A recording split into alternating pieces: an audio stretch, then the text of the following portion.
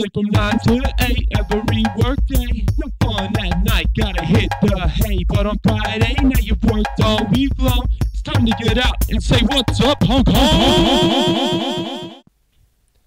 Hi, welcome to What's Up Hong Kong, the show where we tell you what's going on in Hong Kong this week and meet some of Hong Kong's most interesting people. It's March 19th, and our guest today is Hong Kong stand-up comedian, uh, comedy sensation Vivek Mahbubani. How hey, are you? What's up, Travis? How are you today? Very well. Uh, and uh, I guess you're feeling a little bit under the weather yourself. A little bit. I'm doing the whole typical Hong Kong weather change, getting sick deal. You know, it's a regular thing. Everyone does it. It's, it's in trend right now. That's right. We we love the uh, changing weather patterns and the pollution exactly. as far as you our, inhale uh, it properly, you inhale it the right technique, and you can get sick properly. Hooray! All right. well, uh, thank you for joining me. Let's learn a little bit more about our guest. Tell us a bit about yourself, Vivek. Um, first of all, I was born and raised in Hong Kong, which makes me a very local person. Yet I'm actually Indian. Uh, the interesting thing about me is that I actually grew up and went to a Chinese school, which I learned Cantonese, and now I'm as fluent as any other local kid over here. Sweet. Yeah, so it's it's a superpower to me, really. You know, right. people look at me, they're like, "No, he can't understand," and I open my mouth, they're like, "Oh my god, he actually speaks it." No, um, I I've been doing stand up comedy for around five and a half years now. Uh, I I it was one of those things where I just wanted to try it out. You know, those bucket list things where I thought, "Oh, I'm gonna die one day soon, so let me try it out before I die." Sure. And I did it, and I liked it so much that I just kept at it, and from then it's been five and a half years, and hopefully I've improved five and a half years worth of comedy. Excellent. And did you were you really into stand-up comedy as far as watching it and taking it in before you started doing it yourself? I was very big on free comedy in the sense that if it was on TV, the free channels, I'd watch it. If it was, let's say, online, the free sources like say YouTube and all that, I would Sure. watch it. So yeah, I was very big with comedy. I grew up watching Fresh Prince of Bel Air, Seinfeld, uh, Simpsons, all these shows, and to me, comedy was necessary. Uh, every night before sleeping, I would need to watch some comedy to just enjoy the rest of the day and go to sleep well. You know, so for me, comedy was very much a part of my life. It was one of those things that I liked it so much and admired comedians that I thought, you know what, I have to try. How how can you just go on stage, just a mic and your voice, and speak and entertain people for a whole hour? I got to give it a shot. All right. And do you have any? Who are your comedian influences? Your comedy influences as far as stand-up? Well, growing up, they were always like uh, Jerry Seinfeld, Chris Rock, Eddie Murphy, you know the classics. Uh, I actually got into Richard Pryor and George Carlin later on. Okay. However, nowadays I'm very big on Bill Burr, Kevin Hart, Louis C.K. Everyone knows Louis C.K. as well by now, and so a lot of these guys nowadays are, are top top comedians for me. And I also the comics that fly into Hong Kong, like say Butch Bradley, Paul Ogata, all these big names for me are just Yeah. oh my god, great to watch. Got to see Butch Bradley last month. It was really excellent. I'd, fantastic, He'll be especially- back too. So anyone yeah, especially listening, if you're in the front row.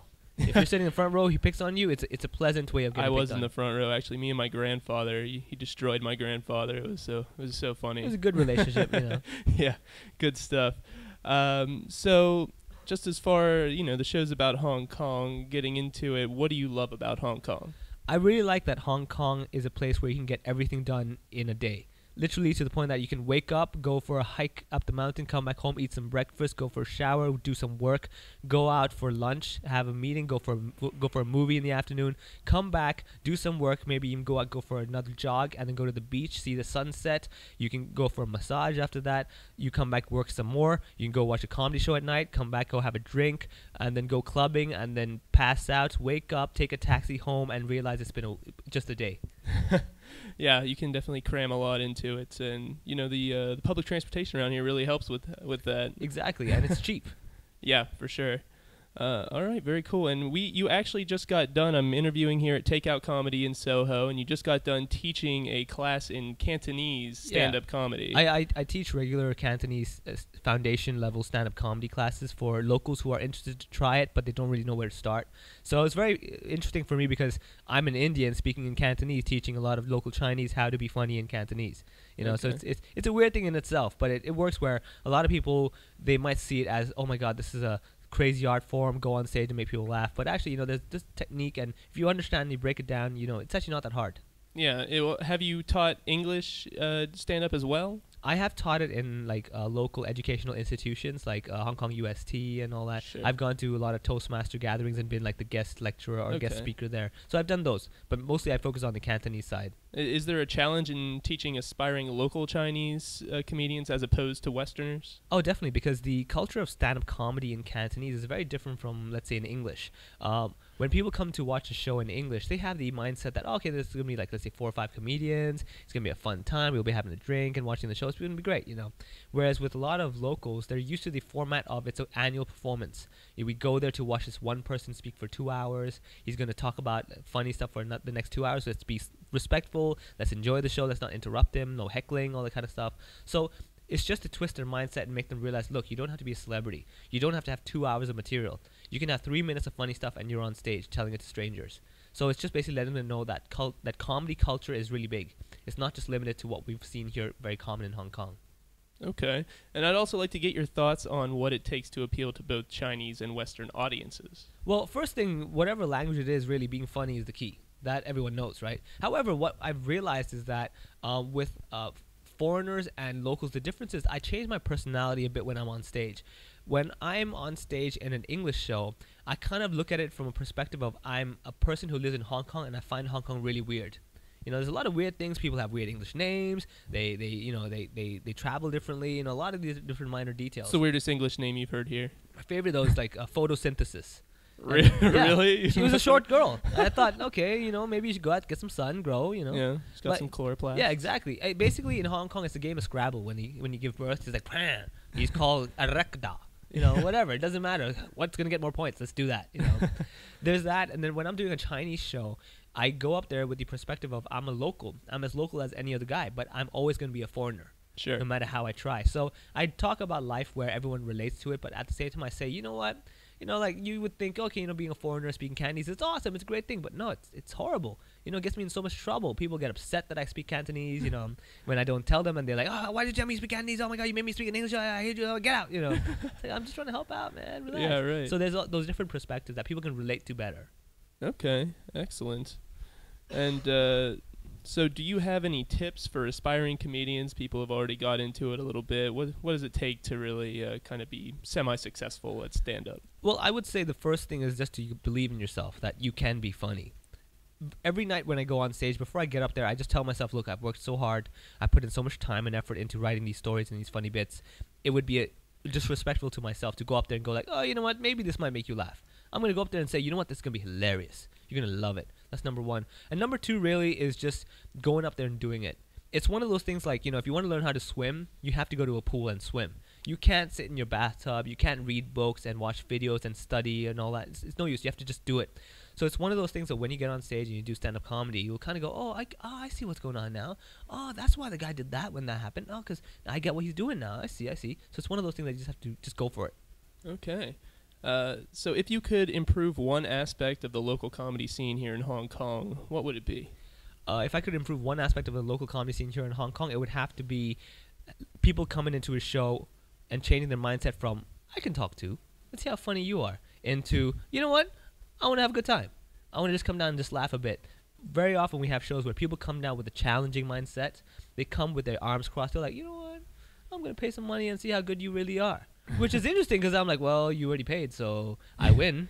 But you know, Have you had problems with hecklers? Oh, we've had hecklers in the sense that it's very passive aggressive hecklers with local audiences. They won't shout and interrupt you, but they will in- interrupt you with their eyes. They're looking at you going, "Yeah, not that funny. Right. I could do better than that." You know, they'll be thinking that with their eyes. But I actually find that more of an uh, more more thrilling to me because when I can make someone who's got their arms crossed and their eyes looking at me going like I can speak too, and they're like, "Okay, that was pretty funny." I actually that was it was got to be off-putting though, because nobody else in the crowd can see their face. That one person, unless you're gonna point them out and be like, "Man, what are you looking at me like that for?" I mean, I've had situations where there was a person sitting near the back of the room and he had his arms crossed the whole night, and I picked on him a bit where I was like, "Why, sir? Why do you have your arms crossed?" And he just he just let opened them up, and I was like, "No, no, that's okay. You know, maybe you have uh, erect nipples. I don't know. You know, you know." And I was joking with him. I was like, "You know, I know you do MC work, and maybe you're just here to study stuff, but like, you know, when you do MC, do you have your arms crossed as well? You know, you just cross your arms like, and now in the red corner we have this guy.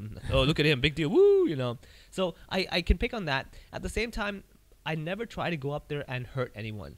There's never an, an I never want to go up there and offend anyone. There's no reason for me to be offensive. If you cross your arms, that's your choice, you know. Maybe one day I'll watch a show and I'll cross my arms as well. It's my choice. It's my freedom, right? However, my goal really is to make someone who came down here with the mindset of, I don't know if this guy's funny. I'm just gonna sit here and you know shake my leg and cross my arms and see and see what's gonna happen. And if I can make that guy unfold his arms and go, all right, this is a good show, then you know what? That was perfect. Mission accomplished. Exactly. Excellent. Uh, so you've achieved a level of success in Hong Kong with regards to entertainment that few, or perhaps even no one else, of your stand-up, as far as your stand-up comedy peers, have been able to achieve. Do you think it's possible to achieve such a level of success without being able to speak fluent Chinese? Um, I think the, the fluent Cantonese definitely helps me a lot. A lot of people in Hong Kong know me for my Cantonese stand-up. They want to see like an Indian guy speaking Cantonese and making us laugh. That's that's something special. However, I do believe that if you're funny, you're funny, in the sense that there's always going to be an audience for you. Uh, I've done a lot of Toastmaster events where I'm the guest speaker, and it's fully in English. They don't want to hear me speaking Cantonese because this is a group of people who want to do public speaking in English.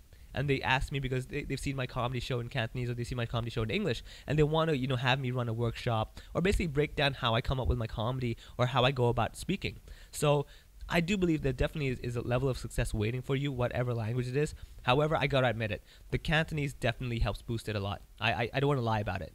On, on the flip side, I guess I should say that being uh, also having native level English would it must Well, also make it possible. It definitely helps. I mean, oddly enough, if you have really poor English, that's actually a good thing. One of the winners of the English comedy competition one year had really poor English. You know who I think my my favorite, who uh, probably the guy that uh, I really enjoy his jokes the most here in Hong Kong is Andrew Chu. Exactly, that's And Andrew he Chu. doesn't have perfect he English. has he has really bad English, and he actually won the English competition because it was just so bizarre seeing someone with that kind of English speak about certain topics, and you're like, this is hilarious. The funny thing is that the same year he won English, the Chinese competition was won by a Caucasian. Oh really? Yeah, who had really poor Cantonese. So there you go. you know, Caucasian winning Cantonese, Chinese winning English. It's a top tipsy, crazy world. Racist audiences. I didn't say that.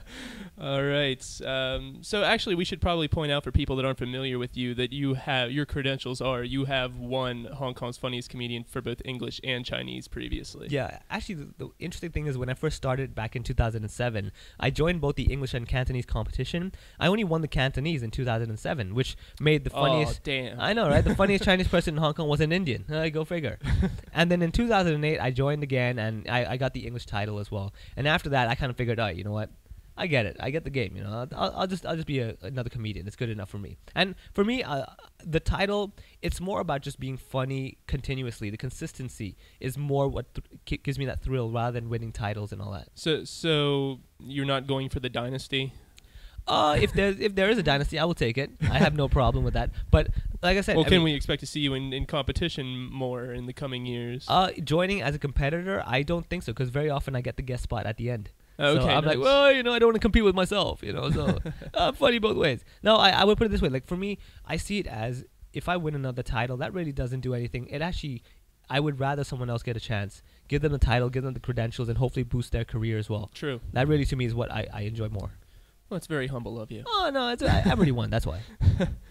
All right. Uh, so has your celebrity got to the point yet where random people come up to you on the street and ask to take your picture, anything like Yes, that? Yes, I get a lot of that where people randomly come up to me on the streets. However, usually before taking a picture, they always ask me, "Are you that guy that does comedy?" right. And I'm like, really? Like, is that what you're gonna tell me? Are you the, the guy? And I could see, no, I'm not the guy. They're like, oh, I'm sorry, you know, you all look the same. I don't know. Yeah.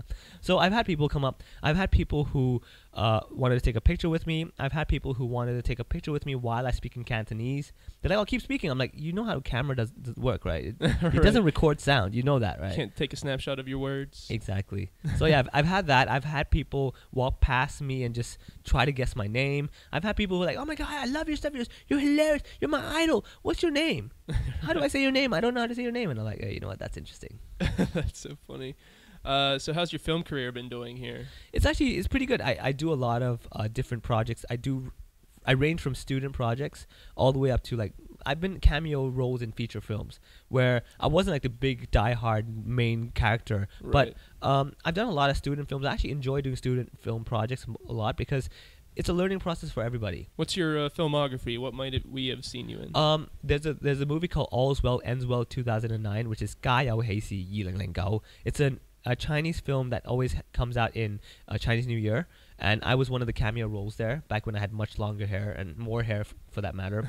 I've done a lot of student projects. Like I just recently did um, a, sh- a movie, a short film with a Baptist University student. Uh, the, mo- the movie is called "Give Happiness a Chance." And it's in the Hong Kong International Film Festival in the university section. It's going to be aired over there. So I was actually in the magazine, the catalog. I was like, hey, that's me, look at me, yay. so I've got that. I mean, the more popular films I've done this one short YouTube clip called Yafanzhong, which is basically part of the Li Ka-shing Foundation, where they gave money to people to do video clips that were m- more positive, to give a positive message. And I was the main character there, talking about the importance of one minute. And the story is interesting because it was me trying to sell a, an electronic can opener. And this guy was like, "Well, why do I need an electronic can opener? It just saves me a minute. I'm not gonna buy an electronic can opener for a minute." I'm like, "Do you know the importance of a minute? You know what you can do in a minute?" And I just go on and on about it. And the guy's like, "Fine, I'll take one." I'm like, "Yes." Now, were you just riffing there? Or they actually writ- had everything written They, out they for had you? most of it written down. I mean, they, they gave me some leeway of like how to go about it, maybe add my own little touch to it. Sure. However, it was mostly written down. I had this big green bow tie. A lot of people know me from that. They're like, "Oh, you're the guy with the green bow tie." I'm like, "Yeah." Speaking of which, uh, do you do any improv comedy? I don't do much of improv actually. I uh, for me, stand-up comedy is really my thing. Improv has never has never been like a super heavy-duty interest of mine in the sense that it's never been something I'm like, oh my god, whose line is it anyway? It's so funny. I got to do that. I love it. You know. Right. But It's coming back. yeah, it is. It the is. I know it's the. American version. without Drew Yeah. Carey. I know. I Yeah, like, without Drew There Carey. you go. That's I have no problem. Still So- has Wayne Brady. Yeah, thankfully, you know that that's the key. You gotta have Wayne Brady over there, you know. Yeah. But yeah, improv for me, I, I I do enjoy watching it though. I definitely appreciate it. I have tried it, and it's definitely a different art form. A stand-up comic may not be very good at improv, and an improv comic may not be very good at stand-up. So it's the, the worlds do col- do collide. However, you could be very exclusive if you need to. Yeah, there are different skills, and Definitely. people who can do both are pretty talented. Exactly. Definitely. Um, okay, my well, my coworker is a huge uh, metal fan, yeah. and he's heard your band Evo Sin a little bit, and he says that you're not technically heavy metal or metal core music, but a mix of styles. What would you say the band style is? How would I- you describe it? I would I would put it this way: is like we're yeah we're not we're not really heavy metal. We're not really metalcore. It's more like uh, a little bit of groove metal at most, but I wouldn't even say it's groove metal. It's very hard to judge. It's more just headbanging metal. yeah, You know, just stuff that you're like, all right, let's beat to it. Let's get go crazy, man. Let's hit someone. You know, like for me, I really enjoy music that makes me want to hit something. Okay. Like my favorite band is Like Chi- who? Oh, My, ahead. my favorite band is Chimaira and Lamb of God, and whenever I hear those songs, I'm like, I want to beat someone. I just, I just want to hit a wall, you know. Then I then my logical mind comes in, I'm like, no, you will not hit a wall because your hand will hurt. if your hand hurts, you will not be happy. But if you're not happy, you will need to be, you will need to do something else, you know. Yeah. And I'm all good. But yeah, those are my favorite songs. And my band, I'm the drummer of the band, and so right. I like that that that beat, that dun dun ta dun dun dun ta, that kind of beat where it's just like, yeah, yeah, we're we're coming for you, you know, that sort of thing. I love that. Yeah, and it's good being here in Hong Kong. There's lots of good hard rock acts that come through, but you you never have like the giant like Ozzfest big metal festival that it, you No, no, no. sea of metalheads. Yeah, the thing for Hong Kong is that metal's actually getting bigger in the sense that it's still underground, very much underground. If you know where it is, then you know where to go. Like there's a place called Hidden Agenda. and There's all these different venues that run a lot of metal events. And you can always check out Underground HK. Exactly, think You've actually designed yeah, the website website. for them, right? That's my project. is, uh, there you go. You know, so a lot of this is available. Hong Kong's one of these cities where there's so much happening that its chances are it's not that it doesn't exist. You just can't find it. You know, it's like another Google. You just have to know how to find it. Really, you know, Yeah. it's not that it doesn't exist. However, um, I would say for big acts to come to Hong Kong, it's hard because the audience isn't really there in Hong Kong. It's more Sure. like let's say in Taiwan, Japan, China, mainland China, all that stuff. So like for example, when I wanted to go watch Lamb of God, I had to fly to Taiwan with my friends just to go watch them. Dang. It was Yeah. so worth it. Uh, my favorite band is not a hard hard metal act, but they're called 311. They're Oh, sta- that, yeah, the they're, quite old school. I, I, I've, Yeah, back in the '90s, they were pretty popular. Their logo's they're- pretty cool. Still going on. Yeah, like Yeah, the, yeah. like the It's got a logo. little graffiti uh, feel to it. The closest they ever get is Japan, so that's where I would have to fly to if I ever wanted to see him.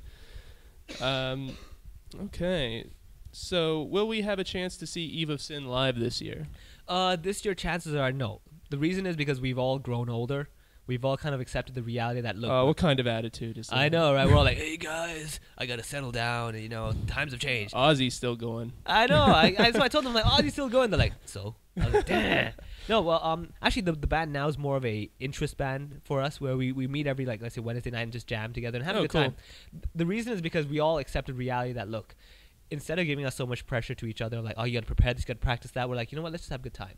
Sure. We've had our times performing. We've had great gigs. We've done different shows in different places. It was a lot of fun, but times have come, and you know what? Hey, let's so just have a you're you're moving on from the music pretty, pretty I'm much. I'm moving on from the professional goal of being a musician Sure. to a musician that's just a musician. Okay, Yeah. Good explanation of it. uh, so you wear you do wear a, a lot of hats in Hong Kong. You're you're a comedian. You you act. You play music. You are also have your own business as a web designer and Exactly, graphic designer. Yeah. And uh, but what's your dream job? Which one of these would you prefer to do? Well, to be honest with you, these are all pretty much my dream jobs. The reason why I I'm so greedy in the sense is that these are all the things I really want to do. I I really took a lot of time to think about it. Like, do I just want to be a comedian or do I just want to do web design? And I really enjoy all of them. The struggle really isn't about which one do I want to do. It's how do I balance everything out. Like you can see hear from my voice, I'm not feeling very well today. The reason is because I got a bit too excited, and I was like, "Oh, I'm going to finish this project. I'm going to take on that project. Then tonight I'm going to do two gigs, and I'm going to go jam with my band after that. You know, I try to do too much at the same time. However, it, really it is my dream job. There's always been like the three aspects in my life: the music part, being a drummer, uh, doing comedy. It's always been like a dream, as a dream come true, and web design, where I'm expressing myself in a more visual way that the whole world can see. If you notice, actually, a lot of things that I do are more uh, selfish in a way, where I don't really rely on other people. Like when I'm doing comedy, I'm on stage. It's me. It's my time. You know, it's really selfish in a way. However, there's a lot of preparation before that. With drumming, it's really I'm giving you the beat. You're following me. With web design, it's really I'm alone. It's my one man company. So I'm not really relying on my accountant and my secretary. It's like, you know, I'll take care of everything. So um, in that sense, it's a very loner kind of thing. That's what I like. Even working out, I, I don't like trainers. I just like working out on my own. Or even not, not with companions, just on my own. Okay, so you want to be able to pursue pursue all of your interests and not necessarily restrict yourself to one exactly. That's why Hong Kong is so good. Yeah, you re- you really Super fast paced, get it done. Yep, for sure. All right, cool. So what can we expect from Vivek in the Year of the Snake? Well, there's a lot happening. I mean, right now the focus is really to bring up the Cantonese scene here in Hong Kong to let people realize, first of all, there's a thriving scene. It's growing stronger and stronger in the sense that we've got more people coming to shows. We're trying to bring up more interest of people trying it, not just being an audience, but you know what? You can do it too. We're really hoping to drum up that interest of like, you know what? Let me let me try. Let me just go up there and say something and see what happens. You know, the interest. Once we build up that interest, there's gonna be a bigger community, more co- comedians, more choices for people people to see. That's the Cantonese side. The English side for me, really, I mean, I've I've never been a big like in five years time I must do this kind of guy. I've always been a believer that if I if I'm better today than I was yesterday, that's good enough for me. I just compare it like that. I go on a day to day basis rather than like, oh, in ten years time I want to be living in this house or I gotta have that car. You know, I just want to know that as long as I'm working better today than I was yesterday, I'm good enough. Excellent. Um, so let me see. So, uh, are there any other hobbies that you have that we haven't mentioned already? Um, no, I don't like collecting stamps. I put the toilet seat down. No, That's a good hobby. that's hobby. about it. Yeah, for for yeah, basic things. Okay, cool. Uh, are there any other groups in Hong Kong or elsewhere that you're affiliated with that you would like to mention on the show? Um, I do donate to different organizations, but you know, I mean, th- those are just like the little side things. I what a guy! hey hey, it, don't ask me how much though. That's not the key. The point is I donated. Yeah. No, um, I, I actually I work with different organizations, like a lot of NGOs, like uh, for example, Equal Opportunities Commission. The interesting thing is that very often they tell me to join them at these road shows where they go to different areas of Hong Kong and showcase different talents of ethnic minorities here in Hong Kong. And they always have me at the end to share about my growing up in Hong Kong. The interesting thing is that I'm not really sharing it to a local audience. I'm actually sharing it to ethnic minorities because they're hoping that the new generation of foreign kids will learn Cantonese and learn Chinese in Hong Kong. And a lot of the parents are worried that it's really difficult, so I'm not going to let my kid learn it. So they want me to be an example of, look, I learned Cantonese and it's helping me so much, so give it a shot. Yeah, definitely. I can only dream of being able to speak Cantonese. It would be uh, Oh, it- it would be- awesome, but Better than Superman. I'll pick up more and more as I as I go along. I'm here for the long haul, so Good enough, man. hey, You're you, living in you the can be area. my role model. You're in yeah. Yuen Long. You Cantonese is all over the place there. Oh yeah, you you do need it to get around to uh, order food and all this to and that. survive, man. Survival Definitely. Cantonese is key. Survival. That's why the first things I learned was how to order food and when the, and all the curse words, so I knew when somebody was pissed off at me. Yeah. You don't want to order someone who's saying curse words to you. You're like, no, I'll take the other menu. Thank you. yes, please.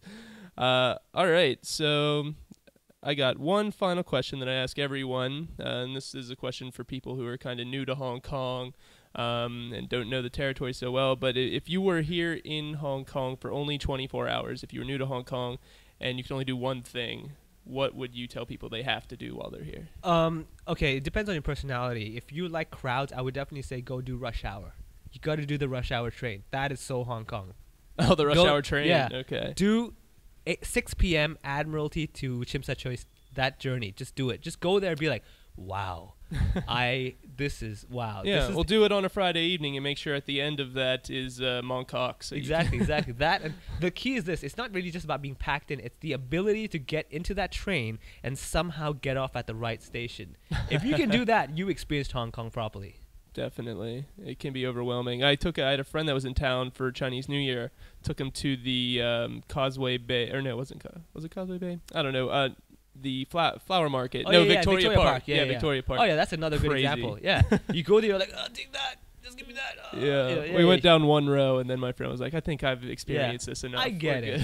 I get it. So you just cram it in. You're like, exactly. right. Yeah, yeah. yeah. That I mean, chances are, if if you if you live in Hong Kong, that's a two minute journey going in rush hour in the trains. But if you don't live here, chances are you probably need the whole day to get off that train. You just won't be able to get out. People just ramming into you. You're like, I, I to get off. I get on at six o'clock and it's already ten. What the hell? You're screaming um, Yeah. mgoy yeah, putting your hand up please, front yell up, face. whatever, man. You're, you're calling friends and everything. Like, oh, well, I told you, don't take the train.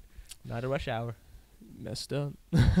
all right. Well, that's all the uh, questions I had for you. Thank you so much. Cool. Thank you. It was fun. Uh, yeah, I'm glad glad you were able to do the interview, but I still got some other parts of the show here. I'm hoping you can join me for. Uh, first, uh, a little game, get to know you a little bit better. It's called "What's Up or Down Hong Kong," All right. and uh, just ten rapid fire items, and you just say up if you like it or down if you're not really into it. Yeah. So let's do it. Video games, Up, dancing up in the club, down, Legos, up, Mondays, up, the Harlem Shake, up, Obama, up, working out up in the gym, up, flying, down, classical music, up, suits. down. Okay. Uh, classical music. You're a metal guy, but you also enjoy uh, some. The of the, some reason is I Mozart. realize that age has caught up onto me, in the sense that when I'm working and I'm like, oh, it's so blah, blah," I'm just like, you know what, my clients are, are not gonna be very happy with those emails. Yeah, no, it's true. I, I, don't want to end my emails by saying rock on. But when I was 13 or 14, classical music to me sounded awful. Like I just didn't want to hear I it. I know. I, w- I would feel like I was my grandfather. I'm like, uh, guys, I'm cool. But now it is qu- quite pleasant. Yeah, and you can't listen to hard rock all the time. Exactly. That's the thing. I, it. It really annoys me because I'm like, wow, I become one of them. I've become old. That's great. Uh, you realize at a point that everything in moderation really is the key. Exactly. Uh, all right, so y- you uh, you like the Harlem Shake a lot? You enjoy those videos? I love those videos. I mean, I'll be honest with you, it has entertained me on days when I'm burnt out. I'm like, Yeah. I can't think anymore. I'm, I'm watching like, Yeah. you know, just you just turn your brain off and just go like, that's funny. Well, I find myself watching these like 25 minute, uh, or I Oh, did when they first the came out, like the compilations? Yeah, and I'm like, damn, these are all. I don't know if I'm. What am I expecting? Why am I watching this yeah, whole the, thing? the, the thing I respect the most is that some guy actually went online, picked the ones he felt were the best, put them together, right. timed them so it's not too long where people lose interest, put it on his website. I'm like, you know what? I respect you for that. People do a lot of that stuff where I'm like, I can't believe people are wasting their time doing this, but eh, it's ent- entertaining us, I guess. So Well, that's good. I, I appreciate it. Not into dancing in the club. No, I'm not a big dancer guy. I mean, as much as I'm Indian, the whole dancing doesn't fly for me. I'm a really bad dancer. People look at me, they're like, "Sir, are you okay?" I'm like, "I'm dancing." They're like, "No, you are not." You're having a vertical seizure. exactly. You are clearly just shaking. Not even the Harlem Shake, sir. You are clearly just shaking, and we we do not allow that in this club. We have style, and I'm like, "Uh, okay." So yeah, I'm not big. I'm not a big clubbing guy. You won't really see me down in the disco go like, "Yeah, what's up?" If you do, it's another Indian. Okay. Yeah. you might have misrecognized. Yeah, you me. think it's Vivek. It's not Yeah, yeah.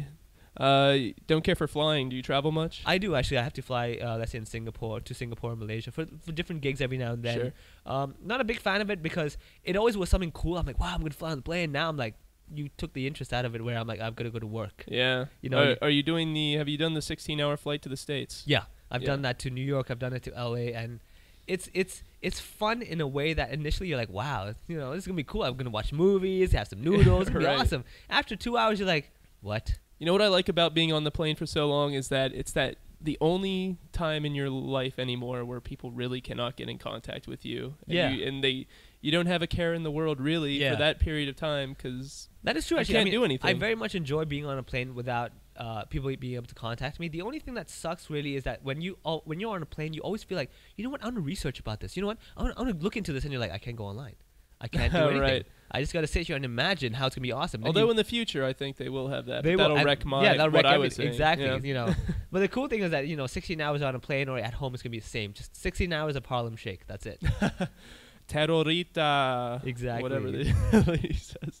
Uh, and suits. You're not a suit I'm guy. not a big- You're wearing no. a jacket right now. yeah, that's about all I will do. With Classy. Hey, no, I mean suits. The thing is like I've. I'm not a big suit guy in the sense that this has always been a dream of mine. Why I work for myself is that I don't ever want to have to wear a suit to work. Now, what if you got your own like late night talk show one day? Then, they better not you're a have suit- me with a suit. Then if they do, I'll be like, this better be a great show, or you You'll better be doing something special. Say it's part of the in, in your contract. No suits. yeah, no, no suit. You know, I'm wearing sweatpants every day. exactly. Just walk, go to work. I'm like, hey, what's up? Nice. This is the no suit show. yeah. Sweet. All right. Well, that was uh, that part of the show. Um, I think we're doing all right on time here. Let's uh, go into some old news, huh? Sounds good. All right. Uh, story number one: A conservative conservative political party here in Hong Kong is campaigning against a liquor license for Triple X Gallery. Uh, the gallery and, and club recently closed to change its location, and cit- citizens near the new spot are up in arms. They're worried about drunk people in their neighborhood. But even without the liquor license, Triple X Gallery will allow people to bring their own booze. They have been BYOB for some time now. Um, at their previous location. Any, any thoughts? Have you been to Triple X Gallery? I've never been to before? They- Triple they, put on some pretty interesting shows there, but oh, okay. I did notice that every show that they have is BYOB, so Oh. I think it would help them out to actually get a They liquor probably do, license. do. they own the 7-Eleven next door or something? Like they just go, hey, we'll outsource this to you guys. you they know. should they should be getting some kickback. From I'm sure they probably do. Yeah, they, they probably like to, hike it up for tonight. We have a show. Just hike it up by a dollar. You know. But yeah, but what you're saying about 7-Eleven is true. I think there will be more people outside the club walking back and forth to the nearest convenience store. Yeah. So you're gonna have more drunk people in the streets if they don't have the liquor license. Exactly. So if anything, they should sell nothing but liquor. If anything, just say just to encourage safety. They should sell hard liquor because you know that way they're just ordering one. Or, the waiters don't have to run around as well, right? Just one drink, you're passed out, finish. You know, Yeah. you sleep there. What what I would say is that honestly, with the whole liquor license thing, ultimately the thing is that there are always going to be people like me who, if I ever go to one of these clubs, I, even if you have a liquor license, I'll bring my own booze. I'll hide it and I'll ask you for a glass. Yeah, I'm like, "Uh, flask. Yeah, I need another glass, please. Uh, You get the glass, I put, pour, pour it in the glass. I'm like, oh yeah, can you fill this up, please? It's not enough. I need some ice. Just cheap it out completely, you know.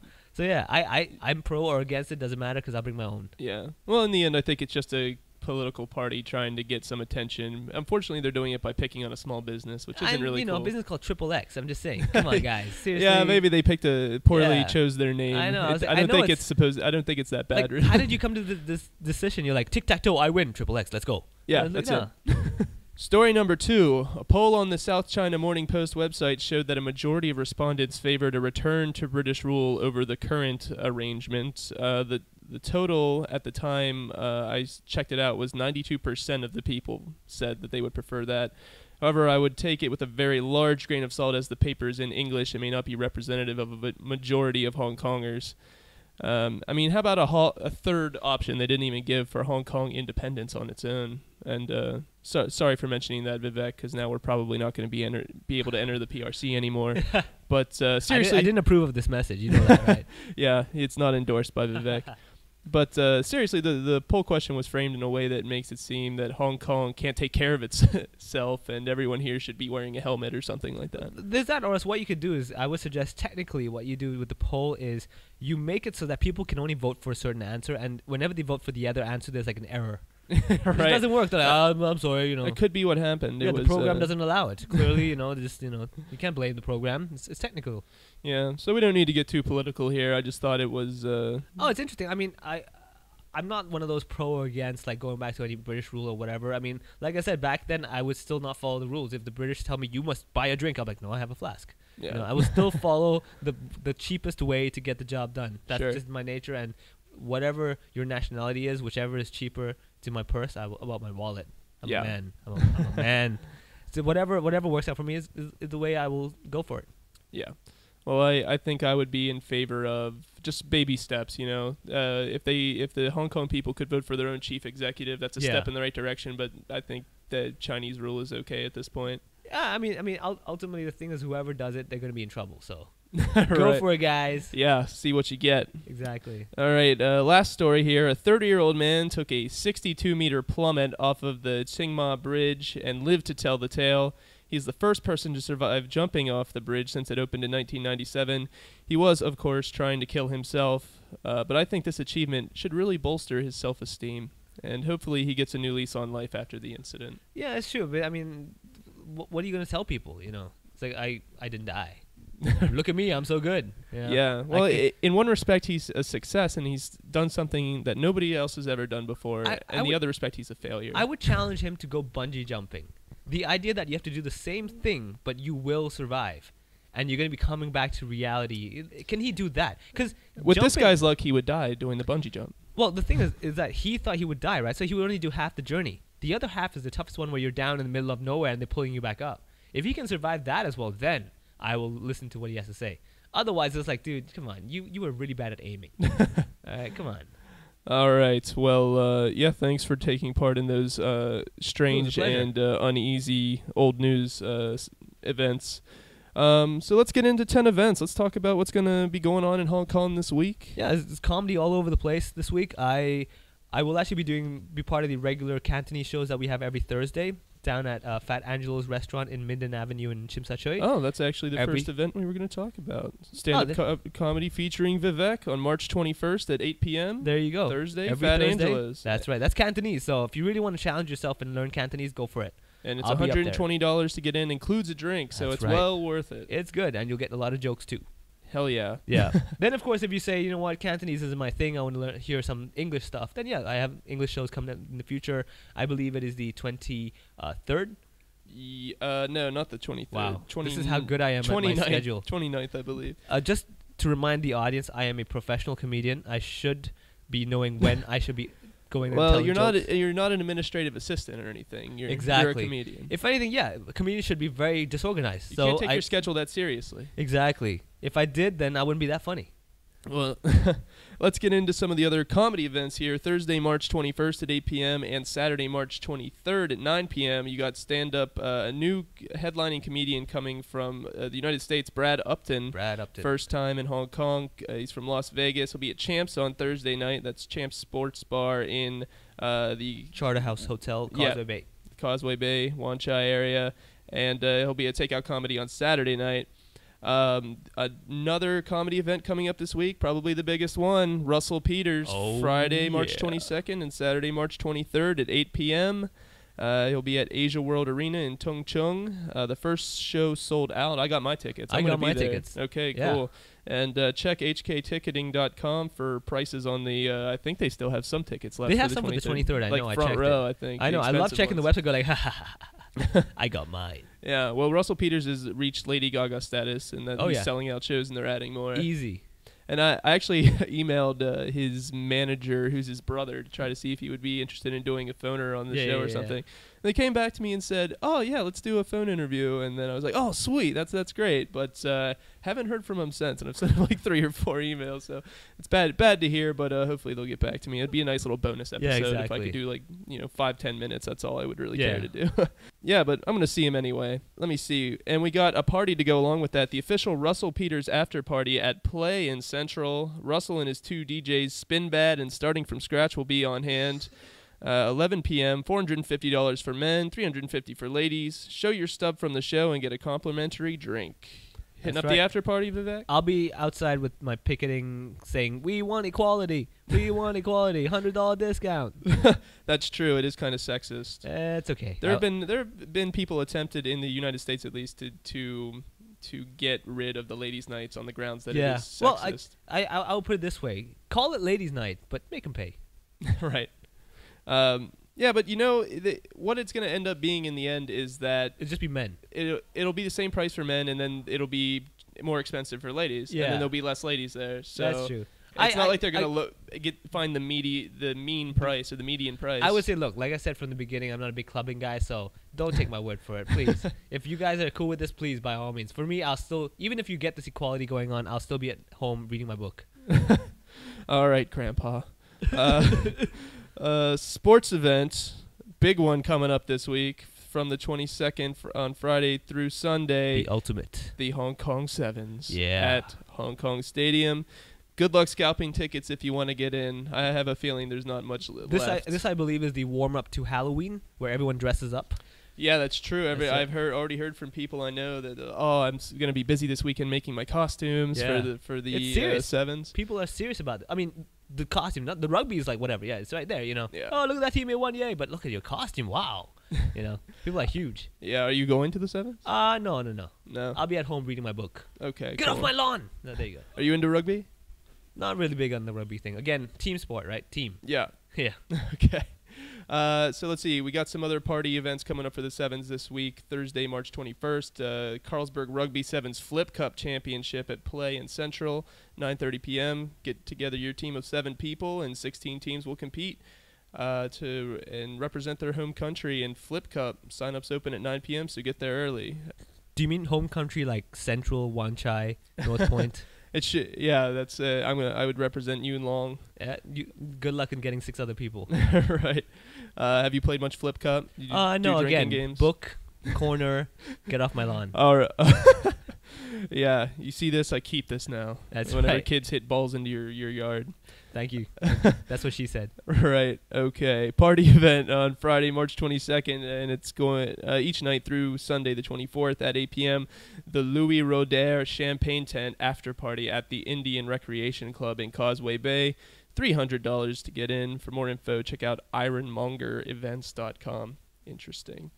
Uh, another party for sevens related Saturday, March 23rd, 8:30 p.m. The Ultimate Hong Kong Rugby Sevens after party at Armani Privé in Central. $200 includes one drink. Put on your sevens costume and take part in the best dressed competition. The last two events this week don't have to do with comedy or or the sevens, uh, but they're, they're they're kind of a sexy events. We got exotic dancing Saturday, March 23rd at 8:15 p.m.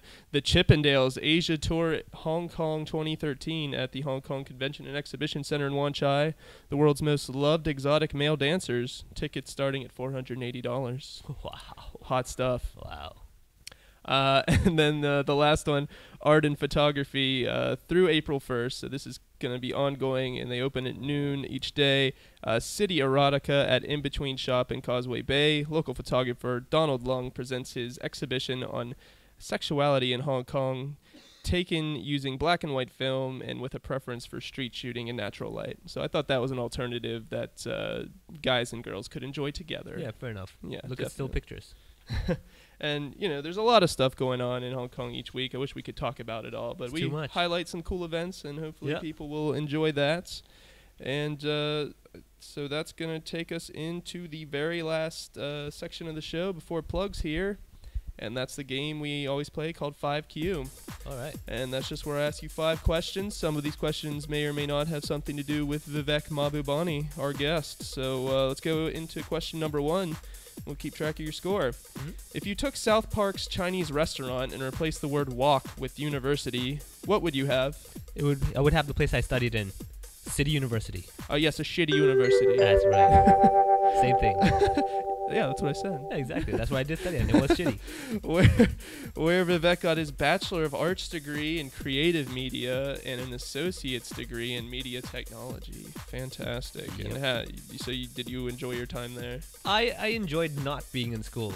All the classes I skipped, that was that was the memories I would have about university life. I still enjoy being able to say, I'm done with school. No more school. I know. I, I, I said that when I was six years old. I'm, I'm done with school. Parents were like, no, you're not. I'm like, okay, back.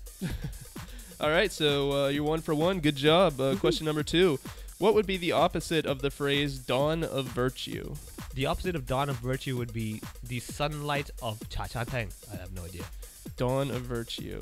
Dawn of virtue. That would be like the the morning of sin. Well, dawn, it would be the opposite. The sunrise. No, sorry. What I'm saying. The The sunset of sin. opposite, the opposite of dawn. You see, I went to a local Chinese school. Our English was very bad. I did go to This City is a University. Uh, so you're, you're very close. I would have to say, I'm gonna say with my heavy Indian accent. It- okay. Yeah, see? Uh, you were you were close with one of those things. You give up?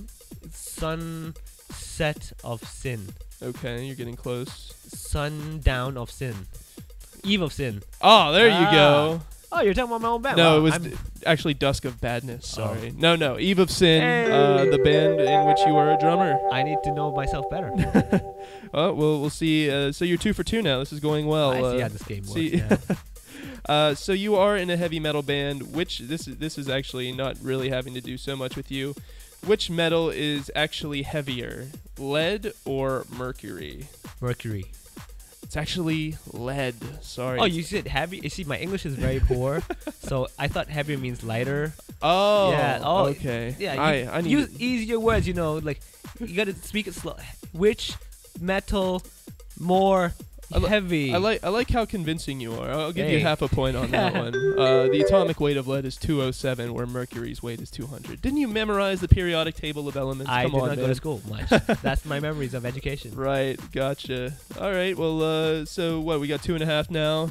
Who? Uh, question number four. Who is the youngest ba- uh, Brady sister on the show The Brady Bunch? Uh, L- Lil Brady. Lil Brady, Lil- like Lil Kim. Yeah. Uh, I have no idea. I didn't watch the Brady Brady. Oh, you didn't watch that I- show? Oh, I I, I might want people off my lawn. Okay, No, I didn't. Uh, I'm gonna throw out some names. Shaniqua, okay. Uh, not not too far off there. Sh- Shamina. Uh, I have no idea. Think uh think your your your your background, your ancestry. Uh, my background. name. Cindy. Cindy, Cindy. exactly. Cindy Ah. Brady. Good job. I just wanted to give you more airtime. That, that's really. I mean, I knew the yeah, Cindy. Come on, everyone knows Cindy Brady. yeah, easy. Yeah, it's- easy. English is not my. you know. Uh, so Vivek is of Sindhi descent. Uh, Yep. How was it growing up in? Uh, well, no, I already asked you about that. Yeah. We already know. um, I mean, what? I, I don't really know. What's the difference between uh, Sindhi and and uh, your other other Indian people? oh, um, I'm sorry. You're asking me? Oh, okay. Yeah, do you No, know? no, yeah. Oh, I do. I Uh, well, think Sindhi's actually like a Pakistani region. Uh, or when what's you're when, when you're in Pakistan, I Okay. mean, we were well, yeah, but um, yeah, mm, uh, this is a very sensitive topic. oh, okay. No, well, um, a lot of Sindhi's in Hong Kong are more business people, so a lot of them they will bargain your head off. so you're better at Bargaining? business than regular other Indian people, I guess. I yes. Okay, good. nice. All right. Well, send if you're uh, a, a non-Sindhi Indian, send your hate mail to Vivek Mahbubani at. okay. Uh, so good. Travis, uh, what's up HongKong.org. three, three and a half points. You're doing really well here. So Thank we're you, on to uh, question five. In 2008, who had the best mobile financial services in Hong Kong? Three. Three No, three was the worst. best mobile financial services. in Oh, mobile Hong Kong? financial in services? 2008. Wow, you've totally stumped me. I, I can tell jokes. I'm good at jokes. Uh, in 2003, the best mobile finance service. 2008 Oh, 2000. Oh, that's a whole different game then. Now, I should mean, be. If you clarify it that way, I'm sure to know the answer. Because I mean, it has to be the you know It's that a bank. Uh, yeah, exactly. Those guys. Come on, You- you must know like HSBC, Citibank. Uh, yeah, HSBC. Final answer HSBC. Yes. Uh, no, it's Citibank, of course. I- 'cause they hired that's- Vivek yeah, exactly, to to endorse do their services. That's why I said Citibank. Is it too late for them to get that money back? Oh, uh, the website's down. Oh, okay, but So I'm just saying. uh, but yeah, so that did have something to do with you, and that was. I really wish I did some research about myself. You see, this is how humble I am. I don't Google myself every day. Yeah. Hence the reason how I'm failing well, at this game completely. I don't think you that necessarily makes people humble. I think it, Oh. if they do Google themselves them every day, ignorant? they're neurotic and paranoid. Uh, so three and a half points, very good actually Hey. for this game. Most people For get someone who like went- two. local English school. I mean, sorry, local Chinese school. English not first language, so it's very difficult Oh. for me to speak like this to you. I am very tired. Andrew is Andrew? Hey. here? Oh, there's the hey, it's me again. uh, all right, so uh, well, thank you for letting me know myself better. yeah, no, Yeah. We're, I- we're educating pe- uh, everyone who's listening and me. yourself. Yeah, Wow. Thank I'm you. hitting hitting the research hard here, but uh, thank you for submitting to that silly game. And now let's just break into plugs and wrap it up here. Um, Vivek's uh, new show in English, next show in English, is on Friday, March 29th at Takeout Comedy in Soho at 9 p.m. So make sure to check that out. You can go to takeout. Co- Uh, takeoutcomedy.com. God, I can't even talk today. Takeoutcomedy.com and uh, find uh, you know the schedule of all the events happening and all the shows and find Vivek's name on there. He will also be present at Takeout Comedy's 1000th show on April 13th. So Yep. everyone should definitely check that out. It's only $100 to get into that show. They got a nice discount. And uh, I imagine it's going to be packed in here. Yeah. And uh, check out funnyvivek.com for more info on Vivek's upcoming shows. Find out uh, how you can hire him out if you have a speaking engagement you might want to hire him for. Or- remember, I am Sindhi, so bargaining gonna be gonna be strong. yeah, well, the Chinese people and the Indian people are very. Uh, it's on. yeah, I mean, anyone is, who's listened to Russell Peters before Exactly. knows They all would about know. this. These Yeah. two people doing business. Oh, it's a sitcom. it's great. Uh, and you can also c- contact him for your web design and development needs, and that's just vivekmahbubani.com. Exactly. Okay, very cool. And by the way, uh, we, maybe we should spell it out. It's V I V E K M A H B U B A N I. You'll be able to find the name on uh, on my website. Yeah. There So you go. If you're checking out Speak HK, Or just smash your keyboard. Just the. if it has letter it V, it's gonna be right. yeah, I think you'll you'll get there eventually. yeah, exactly. It's like ten thousand monkey. When there's a will, there's a way.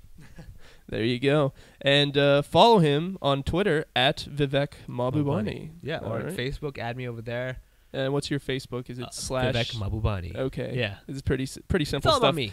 Pretty I simple stuff, that. folks. Yeah. All right, and as far as the show here, uh, subscribe to the show, uh, What's Up Hong Kong on iTunes, and put us in your favorites folder uh, on Stitcher if you listen to us on Stitcher. And on both of those, leave ratings and reviews. It would help us out tremendously. Don't forget to check out Speak HK's other podcast, uh, Dear HK. New episodes every Wednesday, so it'll be tomorrow if you're listening to this on Tuesday. And uh, contact me at TravvyJ, T R A V V Y J, at speakhk.com if you have any events you'd like me to promote here on the show. Um, tweet at SpeakHK on Twitter, Facebook.com slash Speak.hk. Like us there. And uh, yeah, that's a, that's pretty much it. So, is there anything else you want to tell the listeners before we get off of here? Get off my lawn. Okay, so let we'll. Well, it's come to a comedy show, but get off my lawn. okay, so c- come to the dank basement, get off the lawn. Exactly. Okay, very cool. It's like a rap song. Get off the lawn. Get off the lawn. Come to the dank babes. Get off the lawn. Sounds like a Fresh Prince song, or maybe like Hot Boys. It could be. All right, cool. Well, thank you so much for joining, Vivek. pleasure, it's been man. awesome. And uh, for Vivek Mahbubani, this is Travis Jones signing off. That's what's up.